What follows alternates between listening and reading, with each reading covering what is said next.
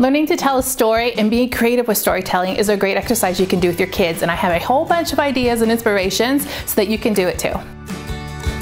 Hey, hey, you guys, it's Christina from the Purple Alphabet, and we are going to be talking about many different ways that you can include your kids and creative ways to do storytelling. If you're new around here, make sure to click that subscribe button so you don't miss out on what we do. I talk about all kinds of educational activities you can do with your kids and ideas and inspirations so you can learn through play. This summer, I want to work on creative storytelling with my kids. So here's some activities that I came up with that you can do at home too. I wanted to give you some different options that you could use for different age children. So watch the whole video and then pick and choose what would really work for the skill level of your child. I'm going to start with some things that you can do for oral storytelling, meaning you're not going to be writing anything down, you're just going to be orally telling a story or making up stories, which is probably the most basic level. I recently found these felt puppets. They are right now at the Target dollar spot. I did them in my shop with me in my haul the other day. They're a good price. They're not the best quality um, for the price, but they're $3. I had several different themes. This one is a Super Pals. This one is Little Red Riding Hood, but these are great ways to engage, especially the younger children, into creating stories. Especially love the ones that already have a story attached to them, like Little Red Riding Hood. It's kind of a story that's already known, and so your child can relate to it act out the story because they already know it. And then once you've kind of experimented with that, you can move on to stories that they don't necessarily know and can make up on their own. This one's really cute. It has a cape. Oh, I didn't notice that. And then you can go from there. So you might already have some puppets around the house. If you don't, you can check out Target, or if you want, you can just use stuffed animals. Another idea and thought is to use the little figurines that you might already have. Once again, you can use familiar characters, like I have the Peppa Pig ones here, to act out stories, and you can combine it with one of the storybooks or the TV shows and act out the story that way. I also have them in Daniel Tiger and in Paw Patrol and in Finding Nemo. You know what, you guys, if you're looking for some really great figures, I'll put them in my Amazon store so you can go and check out some of the things that I found there that you could use as props for storytelling. These are just some of the ones that I have and you can do engaging stories with. I've shown you these story card sets before and many, many, many, many times. They came from the Target dollar section, and what they are is a stack of cards that have pictures on one side, and that's it. And these pictures are meant to be shown to tell stories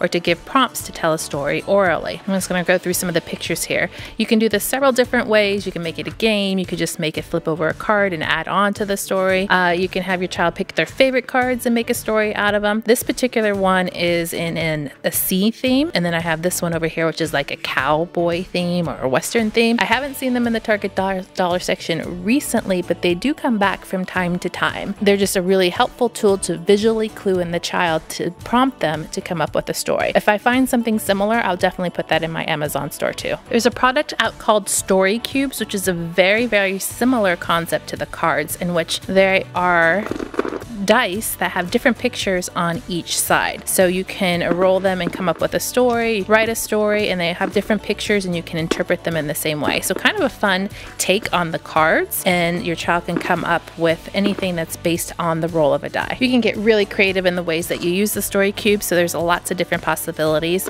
And I like that there's a big variety in these. Right now at Chick-fil-A, they're actually giving away a giant one. There are a couple that we've accumulated over the weeks and they're very similar. They just have come one to the pack in the in the um, kids meal, and it's the same concept. They have different pictures on each side, and that you can draw a story from. Here is a story object tray that I made myself. So I went around and found little objects that I could put inside this tray to do the same thing. It's kind of more of the Montessori side of things. So for instance, this item, which is a crown, might do the same thing that that story card would, or that die. So you can make up a story all about this crown, or you can pull another one out, another object to make a story. So these are kind of inspirational things, plus they're tangible and concrete. Pulled some rocks here. These are just erasers. This item is from another game. These are from tubes. So you know those Safari LTD tubes, that's where this one came from, as did this one. So they were part of other activities I had and I just put them together in one tray here. This came from a Lakeshore Learning game. This was another Safari tube and I think this came from a Lakeshore Learning game too. So you can present this to the child and have them come up with stories using the objects inside the tray. When coming up with ideas for this video on creative storytelling, I realized that a really fun idea would be to use stamps. So this set is a Melissa and Doug set and it has all kinds of animal stamps in it. And you could supply this with a stamp pad and then maybe a blank book. Right now Target has these eight for $3. Um, they're a little bit different size, but they're just books that are put together with nothing on the pages. And so you can stamp out a visual story and have your child tell you about what they've stamped or stamp along as they tell the story, presenting the stamps to them and having them come up with a story based upon the stamp that they're presented to. But if you have a writer, they could also stamp out a scene and then write about that scene.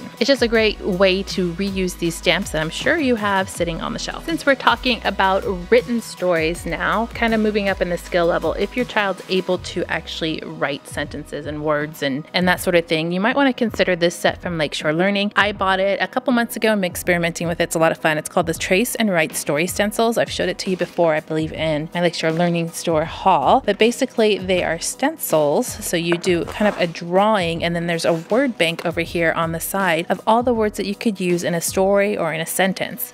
And so what's great is to use a notebook or a blank book, like the Target blank books. Um, this one came from Dollar, yeah, Dollar Tree a couple years ago, but you can find them at many different places. If I find them on Amazon, I can put that in the store too. And there's just a blank spot at the top to draw a picture, which is where you would put your, your butterfly there. And then you can write about it down here in all of the ruled paper and do a sentence or a story. Just kind of depends on the level of your child using all of the word bank here. So now they're also learning new vocabulary. It's right there to give them some ideas on what to write about. This kit comes with 30 stencils inside for grades two, for grades K through two. So there's lots of different possibilities in here. You could even do a full on story page by page by page just by using these stencils. If you like the idea of using the notebook with a picture and some lined paper, you might also want to try using some flashcards because if you pull out a flashcard, this one is a set of animal flashcards that we used to do animal magnet matching with. You can develop a whole story based upon this one picture. You can talk about this picture, you can describe it, you can do different kinds of sentences or uh, words with just the one flashcard. All of these right now, once again, are at Target for a dollar. If you have some magazines laying around, which I do not, but I do have some coloring books, which would work just as well. But if you have magazines laying around, you can pull out one picture, one page, and do the same thing as you would the story cards, write a story about one of the scenes. So what is going on in the scene with these dogs, write about it, make up a story. You could even switch the page to see if it changes the story, talking about something new. If you guys remember my whole video about what to do with these Dollar Tree magnet sets, I have another idea for them. And actually,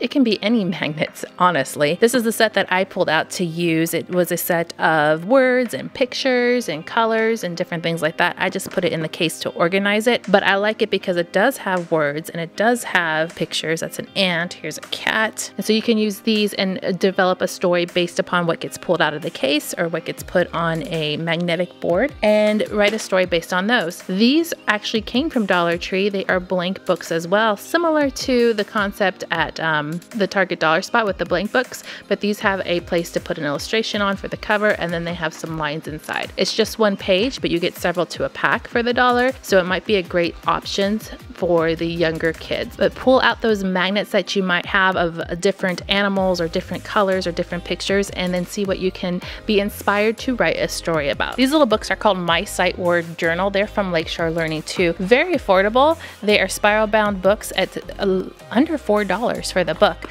but they're great because you have a whole word bank on here with the picture so your child knows what that word says if they don't know many of their sight words. But then inside there are different story prompts. So it's very similar to that notebook from Dollar Tree where you had the blank spot and the writing down here, but this one actually has a prompt on each page that encourages your child to write a sentence about one of those pictures in the word bank. So they would pick one picture over here, draw it over here, and then write the sentence down here. It's a great starting point too because it does all of the work for you, so you don't really have to think about what to write, and it just is very helpful for your child who also doesn't know what to write. Great tool in writing a story. If you have any suggestions on how you can do creative storytelling with your kids, leave them down below. Love your suggestions. Make sure to click subscribe to see more videos like this and to give me a thumbs up to show your love.